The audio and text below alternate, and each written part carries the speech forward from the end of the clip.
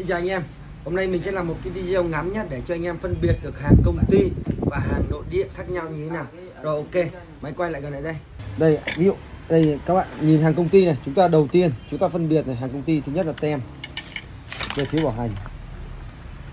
Tem đầy đủ nhá. Ở khu miền Nam từ Hải Nam phân phối.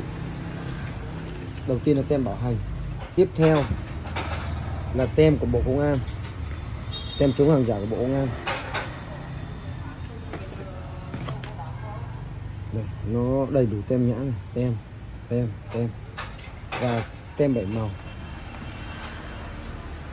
Đấy là những cái cái mà chúng ta dễ nhận biết nhất. Và tiếp theo là mã.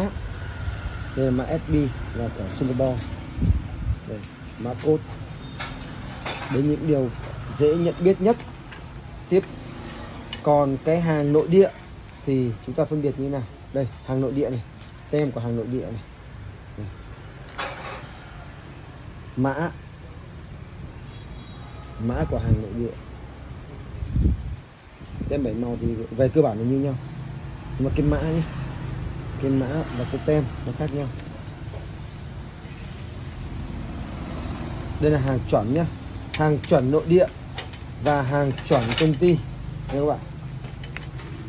Còn ví dụ như cây uh, nano 700 hàng nội địa thì nó có tem nhãn kiểu như này mã đây.